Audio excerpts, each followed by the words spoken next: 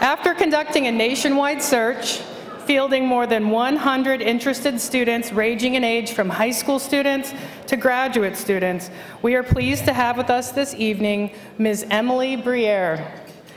In addition to serving as tonight's keynote speaker, the club is also providing Emily with a $10,000 scholarship to support her further academic pursuits.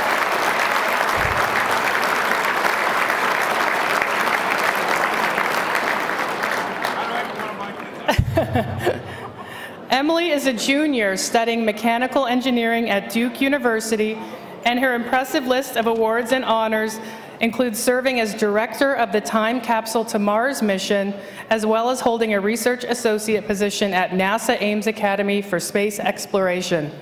Please help me welcome the future of the aerospace industry and tonight's keynote speaker, Ms. Emily Briere.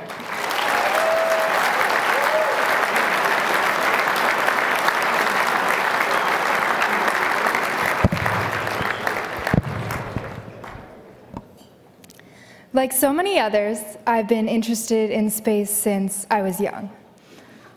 I,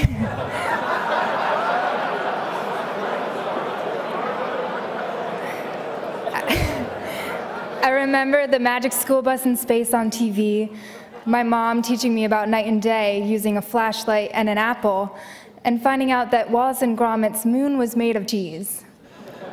Our early home videos show me hopping from couch to couch, clad in an ill-fitted, self-constructed astronaut suit, which I confess was just made of cardboard cereal boxes, aluminum foil, and dryer tubing. Space filled my world.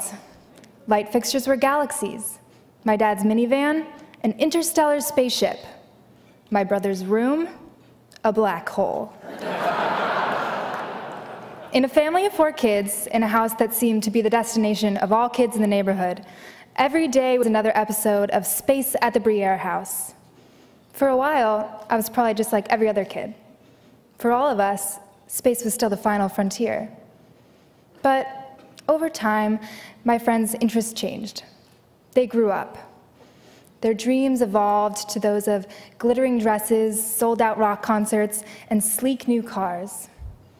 But somehow, my interests never changed. Maybe I never grew up. But I like to think I just somehow managed to keep that childlike wonder, the ability to look up at the sky and just get lost in it. Truthfully, I hope I never lose that ability.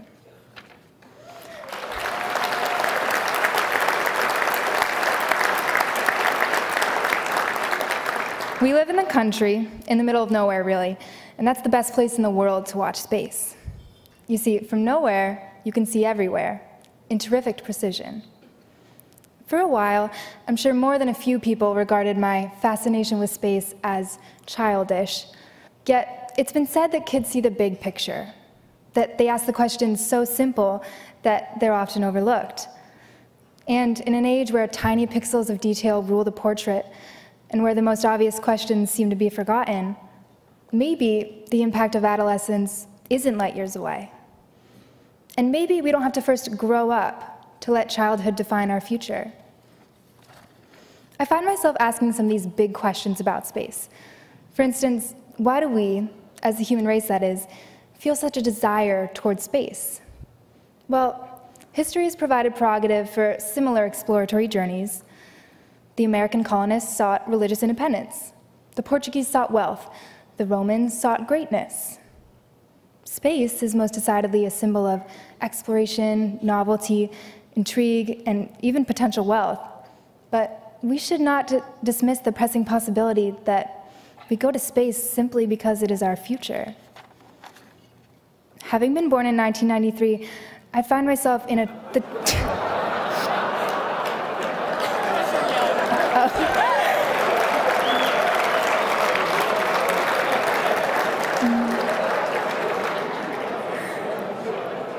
I've grown up in the transitory space age. We find ourselves shifting from the old, glorified, and nationalized space race to one driven more by consortia and collaboration. From a government-driven program motivated by national pride to one largely driven by the global private sector. From a near-Earth orbit focus to talk of corralling an asteroid line or even living on Mars. We're moving faster than ever before to make this giant leap forward into the interplanetary era that will define all subsequent generations of life here on Earth. Now, that's about as unprecedented as it was to when we first set sail from one continent to another. We're at a momentous threshold. We're traveling to colonize another planet. And I still remain the big picture girl. I still look up and I want to see that these giant leaps are for all mankind. Recall President Kennedy's preamble to man's most hazardous adventure. For the eyes of the world now look into space, to the moon, and to the planets beyond, and we have vowed that we shall not see them governed by a hostile flag of conquest, but by a banner of freedom and peace. Whether we're talking about corporations, billionaires, or nation states, I believe that these next steps are not in the name of individuals or conglomerates. They're for humanity and all it represents. So why not take this next big step together as mankind? I'm one of the leaders of a space endeavor that we believe could refocus and remind ourselves what it's all about. It's about our collective future in the universe. Our international team, centered at MIT's Space Propulsion Lab, is working to send the first ever student-led CubeSat to Mars. Our vision is to unite humanity under one mission, with the goal of landing a time capsule of humanity on the surface of the red planet. Time Capsule to Mars aims to involve every country in the world while maximizing both the amount of new technology tested and the value of science returned. We hope it will be the first private mission to Mars. It will be the first interplanetary trial of ion electrospray propulsion, a technology with the promise to reduce transport time to Mars to a mere four months. It will carry a digital time capsule containing media encoded with the audio, video, and photographic data of millions of people around the world, including the human genome.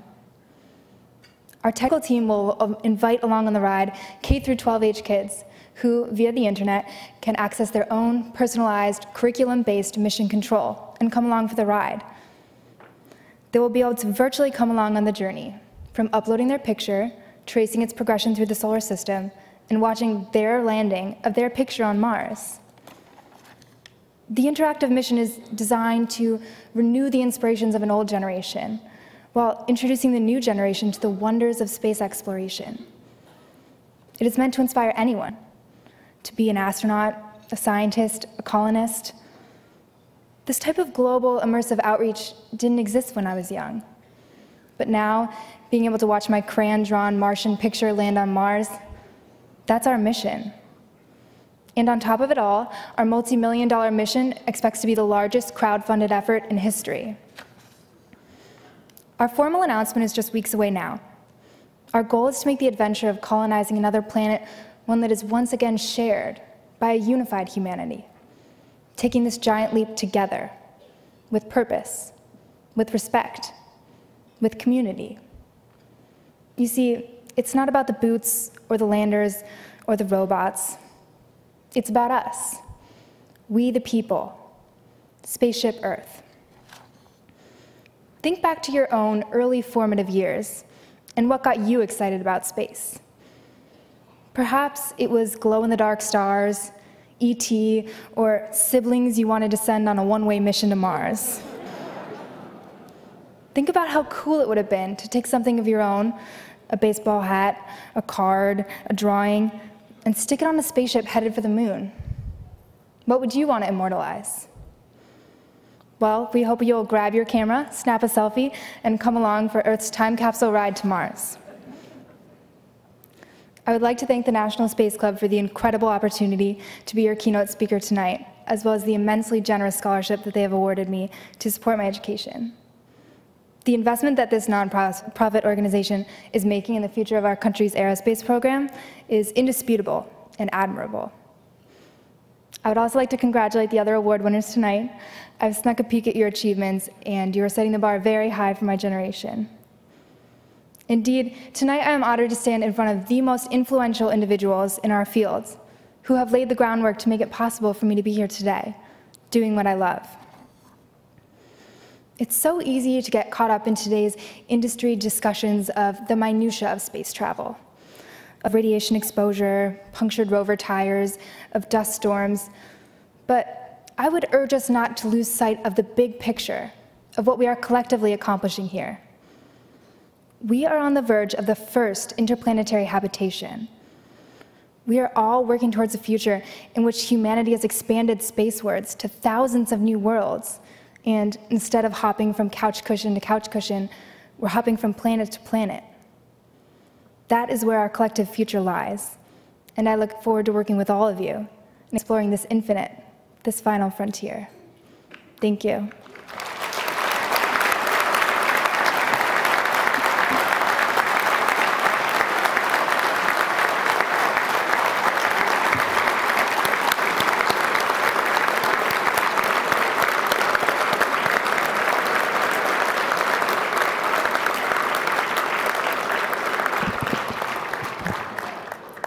Thank you, Emily. Your passion is truly contagious, and I think the future of our industry will be in very good hands.